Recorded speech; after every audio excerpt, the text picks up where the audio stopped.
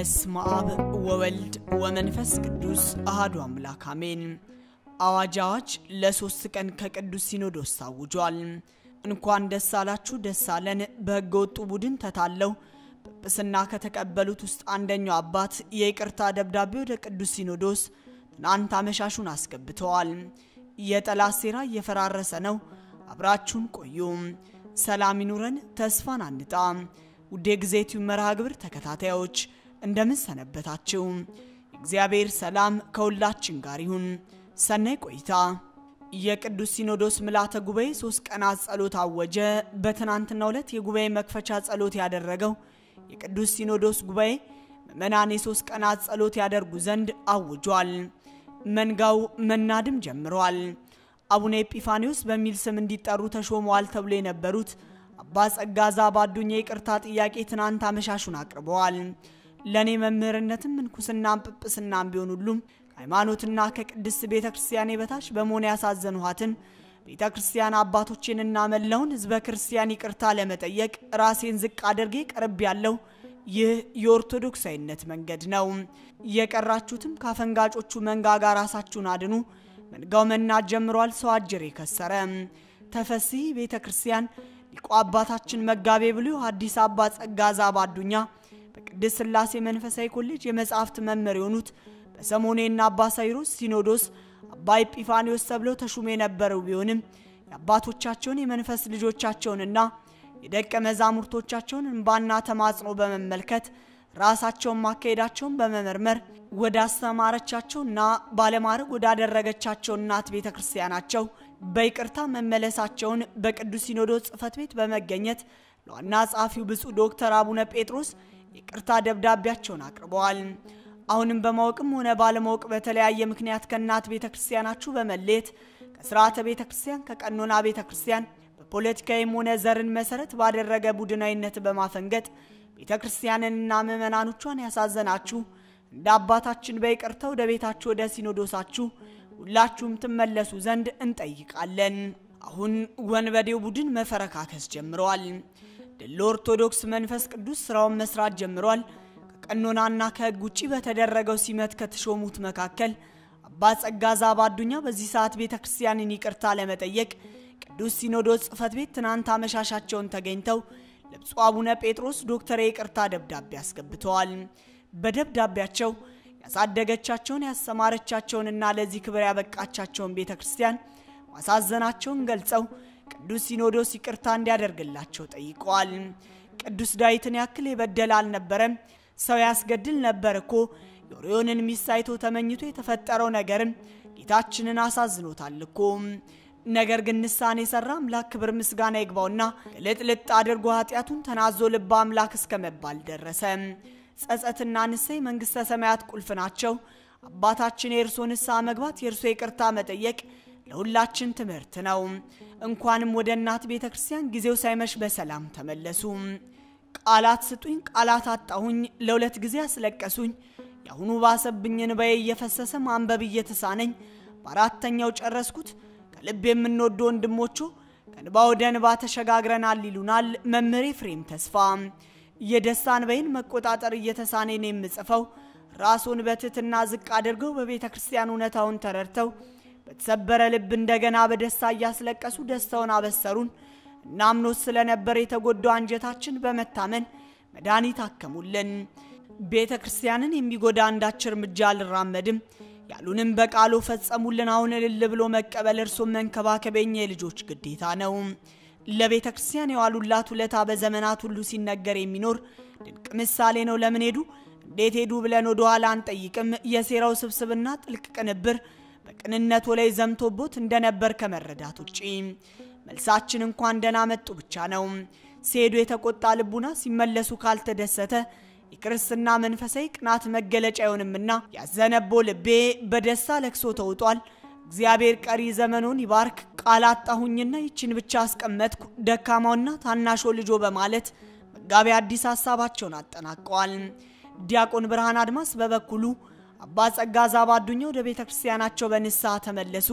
እውነተኛ አዳም ልጅ እግዚአብሔር ይመስገን በጎጥ መንገድ ተሹመው ከነበሩት አንድ የሆኑት አባ ጸጋ ዛባ አባታችን አዳምን መስለውታል። አዳም የወደቀው በዲያብሎስ የውድቀት መንገድ ነበር።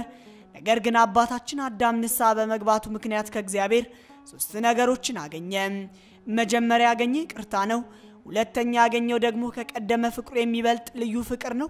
ሶስተኛውና አስገራሚው ደግሞ አምላክ ሰው በሆነ ጊዜ በተዋህዶ ባህሪው አምላክነትን ገንዘብ አደረገና በውላጤ የተመኘውን ሐሰተኛ የምናብ አምላክነት በተዋህዶ እውነት አገኘው። እርሶም እንደ አዳም ፈጥነው ነሰው ይቅርታ ጠይቀው ተመልሰዋልና ከጠየቁት የሲኖዶስ ጉባኤ ይቅርታውን እንደሚያገኙ አይጠረጠርም። ሌሎቻችንም በፍጹም ደስታ እንደተቀበልነው እና እንደምንቀበለው ይረዱታል ብዬ ማምናለው። እውነቱን ለመናገር ፍቅራችንም ቢሆን ይጨምራል። በእርግጥ በእኛ ዘንድ ቂምና ነገርን አለመርሳት በጣም የተለመደ ነው። ቢሆንም ግን በቅዱሳን ጸሎትና በአምላካችን ጸጋ ራሱን ጌታችንን አብነት አድርገን ፍቅራችን እንደሚጨምር ምንም ጥርጥር የለኝም። ሶስተኛዋንም ቢሆን በአምላክ ቸርነት ልክ እንደ አዳም ከጠበቋት ቀኗን ጠብቃ በሱባኤ እንደሚያገኙት በእውነት ተስፋ አደርጋለሁ። ቢቀርም ደግሞ ከአምላክ የሚያገኙት ክብር እንደሚጨምር ጥርጥር የለኝም። ብዙ ቅዱሳን ከንስሐ በኋላ ያገኙት ጸጋ ከመበደላቸው በፊት ከነበረው እንደሚበልጥ በቅዱሳን ሕይወት በደንብ አድርገው እንደሚያውቁት ነውና እንኳን በሰላም መጡ አባታችን አዳምን የተቀበለ አምላክ አዳምን በተቀበለበት ጸጋና ማዕረግ ይቀበልልን። በእውነትም ያዳም ልጅ ለአዳም ክብር ያብቀው አባቴ። ሌሎቻችንም ቢሆን እንኳን ደስ አለን። ምንጊዜም ቤተ ክርስቲያን በአምላኳ ስለምታምን በልልና ከፍ ብላ ትኖራለች። የአባቶቻችን አምላክ እግዚአብሔር ይክበር ይመስገን። ከውስጥ የወጣ መረጃውንም በስልክ እየደወሉ መመለስ እንደሚፈልጉ እየገለጹ ነው። ክብሩ የቤተ ክርስቲያን ነውና እንኳን ደስ ያላችሁ። አባ ጸጋ ዛብ በእውነት እናከብሮታለን፣ እንወዶታለን። የጠላት እቅዱ መፈራረስ ጀመረ። የጸሎት አቅሙ ኃይል አለው። እግዚአብሔር ይመስገን። የግብፅ ኦርቶዶክስ ቤተ ክርስቲያን ያመፀኛውን ቡድን ህገወጥ ሹመት አወገዘች። አባ ጸጋ ዛቤ ይቅርታ ደብዳቤ አስገቡ። አባ ናትናኤል መላኩ የህገ ወጡን ጵጵስና አልቀበልም አሉ። ብፁዕ አቡነ አብርሃም ሽምግልና ለተላኩት ሰዎች መልስ የማይገኝለትን ጥያቄ ያቀረቡ። እናንተ ሌላ መንግስት ቦሌ ላይ ሆኖ እንደራደር ቢል ታደርጉታላችሁ ያሉ። ድሉ ወደ ቤተ ክርስቲያን ነው። ውዴ ጊዜ ቲዩብ ቤተሰቦች እንደታዘዝነው ሁላችንም በጸሎት እንበርታ። ጸሎት ለመነ፣ ጠየቃ፣ ማለደ፣ ማለደው ካለው የግዕዝ ቃል የወጣ ቃል ነው። ጸሎት ማለት ጠቅለላ አድርገን ስንመለከተው ከእግዚአብሔር ጋር መነጋገር፣ እግዚአብሔርን ማመስገን፣ መለመን፣ መጠየቅ፣ መማለድ፣ መማጸን ነው። ጸሎት ቢል ተናግሮ ምስለ እግዚአብሔር አባታችን አዳምም ከመልአክ ተምሮ በየሰዓቱ ይጸልይ ያመሰግን ነበር። ዲያብሎስ አድሮ ወደ በመጣ ጊዜ ጸሎት እያደረገ ስለነበር ዲያብሎስን ድል ነስቶታል። ሔዋንን ግን ስራ ፈታ እግሯን ዘርግታ ስላገኛት ድል ነስቷታል። ጸሎት ሰማዕታትን ከነደደ እሳት ከተሳለ ስለት ካላውያን መኳንንት ከአሕዛብ ነገሥታት ከዲያብሎስ ተንኮልና ሽንገላ ዲያብሎስ በእነርሱ ላይ ካጠመደው አሸክላ የዳኑበት ጋሻ ነው።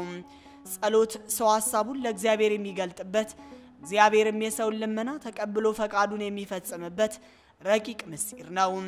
የጸሎት መሰረቱ ሹ ታገኛላችሁ፣ ለምኑ ይሰጣችኋል፣ ደጅ ምቱ ይከፈትላችኋል የሚለው የጌታችን ትምህርት ነው። ጸሎት በሶስት ክፍል ይከፈላል። አንደኛው ጸሎት አኮቴት ነው። ጸሎት አኮቴት ማለት እግዚአብሔርን ከሁሉም አስቀድሞ ስለተደረገልን ነገር ማመስገን የሚጀመር ጸሎት ነው። ይህ አይነት ጸሎት የቅዱስ ባስሌዎስን የምስጋና ጸሎት የመሰለ ነው። ነአኩቶ ለገባሬ ሰናያት ላዕሌነ እግዚአብሔር መሐሪ ለእኛ በጎ ነገርን ያደረገ ባይ እግዚአብሔር አምላካችንን እናመሰግነዋለን ይልና ምክንያቱን ሲገልጥ ጠብቆናልና ቅርቦናልና ወደ እርሱም ተቀብሎናልና እስከዚችም ሰዓት አድርሶናልና ይላል። ይህ ጸሎት የምስጋና ጸሎት ወይንም ጸሎት አኮቴት ይባላል። ቅዱስ ጳውሎስም ይህንን የምስጋና ጸሎት ለፊልጵስዩስ ክርስቲያኖች ሲጽፍላቸው ነገር ግን በሁሉ ነገር ጸልዩ፣ ማልዱም እያመሰገናችሁም ልመናችሁን ለእግዚአብሔር ግለጡ ይለናል። ዳግመኛም ስለ እናንተ በኢየሱስ ክርስቶስ ከእግዚአብሔር ዘንድ ለእናንተ ስለተሰጣችሁ ጸጋ ዘወትር እግዚአብሔርን አመሰግኗለሁ። አንደኛ ቆሮንቶስ ምዕራፍ 1 ከቁጥር 4 ብሎ ከመለመን አስቀድሞ እግዚአብሔርን ማመስገን አስፈላጊ መሆኑን አስተምረዋል። በዚህ መሰረት ሰው እየተደረገለትን በጎ ነገር ሁሉ በማሰብ ፈጣሪውን ማመስገን ከማመስገን ቀጥሎም የሚያስፈልገውን ከፈጣሪው መለመን አስፈላጊ ነው። ከቅዱስ ጳውሎስ የምንማረው ለእኛ ስለተደረገልን ብቻ ማመስገን አይደለም፣ ሌሎች ስለተደረገላቸው ማመስገን ተገቢ መሆኑን እንጂ። ለእናንተ ስለተሰጣችሁ ጸጋ ዘወትር እግዚአብሔርን አመሰግናለሁ ሲል ወገኖቹ ስለተደረገላቸው በጎ ነገር በደስታ ማመስገኑ ነው። ክርስትና ማለት ለእኔ ብቻ ማለት ሳይሆን ለሌሎች መኖር፣ ለሌሎች በተደረገ እግዚአብሔር ስጦታም ደስ መሰኘት ነው። ይህንን የምስጋና ጸሎት ወይንም ጸሎት አኮቴት ብዙ አባቶች፣ እናቶች ተጠቅመውበታል። ለምሳሌ ያህል ዘካርያስና ኤልሳቤጥን መመልከት እንችላለን። ቅድስት ኤልሳቤጥ እግዚአብሔር ያደረገላትን በጎ ነገር ስትመሰክር እግዚአብሔር በዚህ ወራት ከሰው ስድቤን ያርቅ ዘንድ በጎበኘን ጊዜ እንዲያደረገልኝ ብላለች። ሉቃስ 1 ከቁጥር 25 ላይ እግዚአብሔር ጎበኘኝ ብላ ቸርነቱን አደረገልኝም በማለት የተደረገላትን መልካም ስጦታ ዮሐንስን መጽነሷን ገልጣ አመስግናለች። ሁለተኛው ጸሎተ ምህላ ነው። ጸሎተ ምህላ ስለ ፈውሰ ሕሙማን፣ ስለ አገርና ስለ ነገስታት፣ ስለ ጳጳሳት፣ ካህናት፣ ዲያቆናት፣ ምዕመናን ሕይወት ቸነፈር፣ ጦርነት፣ ረሃብ፣ ድርቅ ወይንም ሌላ አስጊ ነገር በሆነ ጊዜ በብዛት በማህበር የሚጸለይ ጸሎት ነው። የምህላ ጸሎት ሲጸለይ በእስራኤል ላይ ቸነፈር በተነሳ ጊዜ አሮን በሽተኞችን በአንድ ወገን ጤነኞችን በአንድ ወገን አድርጎ የክህነት ልብሱን ለብሶ ማዕጠንተ ወርቁን ይዞ በራሴ የማልክላቸውን አብርሃምን፣ ይስሐቅን፣ ያዕቆብን አስበ የወገኖችን ኃጢአት ይቅርበል ብሎ እንደ ጸለየላቸው ነው። ዛሬም ካህናት ከጠቀስናቸው አስጊ ነገሮች ማንኛውም ነገር በሀገር ላይ በቤተ ክርስቲያን ላይ ቢመጣ ወደ ሀገር እንዳይገባ ገብቶም ቢሆን ከፍ ያለ ጉዳት እንዳያመጣ የክህነት ልብስን ለብሰው ማዕጠንቱን ይዘው ስለ ማርያም መስቀል አቅርበው ማኅበረ ክርስቲያን ሰብስበው ኢየሱስ ክርስቶስን ስለ እኛ ከድንግል ማርያም መወለድህን ስለ እኛ መሰቀል መሞትን አስበህ የሕዝብን ኃጢአት ይቅርበል ከመዓት ወደ ምሕረት ተመለስ እያሉ በምህላ ይጸልያሉ። የምህላ ጸሎት መዓትን መቅሰፍትን ይመልሳል፣ ጦርን ቸነፈርን ያሳግሳል። መሰረቱ ጾም ለዩ ምህላን ስበኩ ያለው ቃል ነው። ይህ ጸሎት በሰላም ጊዜ ሰላሙ ዘላቂ እንዲሆን በጦርነት ጊዜ ለመከላከያነት ዋና መሳሪያ ነው። ስለዚህ አጥብቀን ልንከተለው ይገባል። የምህላ ጸሎት ነገስታት ከዙፋናቸው ወርደው ወንድ ሙሽራ፣ ሴት ሙሽራ ከጫጉላቸው ከመጋረጃቸው ለምግብ የደረሱ ልጆች ከምግብ ለምግብ ያልደረሱም ከጡት ተከልክለው ሕዝብ ሁሉ ምንጣፍ ለብሰው አመድ ነስንሰው የሚጸልዩት ከፍተኛ ጸሎት ነው። ሶስተኛው ጸሎት ጸሎት አሰብቆት ነው። ይህ ጸሎት አንድ ሰው ስለሚፈልገው ነገር ቦታ ለይቶ ሱባኤ ገብቶ የሚጸልየው ጸሎት ነው። ጸሎት በተለይ ጣዕመ ጸጋን በቀመሱ በተባህቶ በምናኔ በገዳም በሚኖሩ አበው ዘንድ የተለመደና የሚደረግ ጸሎት ነው። ወጣንያን እግዚአብሔርን ጠይቀው አድርግ አታድርግ የሚል መልስን አይጠብቁም። ፍጹማን አባቶች ግን እግዚአብሔርን ጠይቀው አድርግ ወይንም አታድርግ የሚል ፈቃደ እግዚአብሔርን ሳይቀበሉ የሚያደርጉት ነገር የለምና ቦታ ጊዜ ወስነው ፈቃደ እግዚአብሔር ይጠይቃሉ። ይህ ጸሎት አሰብቆት ይባላል። ይህ ማለት መላልሶ ደጋግሞ ያለ እረፍት ደከመኝ ሰለቸኝ ሳይሉ የሚደረግ ጸሎት ነው። ጠቅላላው በቤተ ክርስቲያን የሚጸለዩ ጸሎታት ጸሎተ ፍትሐት፣ ጸሎተ ተክሊል፣ ጸሎተ ሕሙማን ጸሎተ ቅዳሴ፣ ጸሎተ ሰዓታት፣ የግል ጸሎት፣ የማህበር ጸሎት፣ እነዚህ ሁሉ ከላይ ከዘረዘርናቸው ሶስቱ የጸሎት ክፍሎች አይወጡም። ከጸሎት አኮቴት፣ ከጸሎተ ምህላ፣ ከጸሎት አሰብቆት ይመደባሉ። እነዚህን ጸሎታት በሰቂለ ሕሊና በአንቃይዶ ወይንም አይንን ወደ እግዚአብሔር በማንሳት መጸለይ ታላቅ ዋጋ የሚያሰጥ ከሰይጣን ወጥመድ የሚታደግ ሕይወትን የሚስተካከል እግዚአብሔር ጋር የሚያስታርቅ አጋንንትን የሚያርቅ ኃይለ እግዚአብሔርን ለሚጸልዩ የሚያስታጥቅ መላእክትን የሚያስመስል ነው። እኛም ሰውነታችን ከበደል ልቡናችን ከቂም ከበቀል እንዲሁም ከተንኮል ንጹሕ አድርገን ብንጸልይ እንጠቀማለን። ጸሎታችን ተሰሚ፣ ልመናችንና ጩኸታችን ግዳጅ ፈጻሚ ይሆናል። የአባቶቻችንን ጸሎት የተቀበለ እግዚአብሔር አምላካችን ጸሎታችንን ይቀበልልን፣ ይቆየን። ወስብሐት ለእግዚአብሔር ወለወላዲቱ ድንግል ወለመስቀሉ ክቡር። ምንጭ ማኅበራዊ ድረገጽ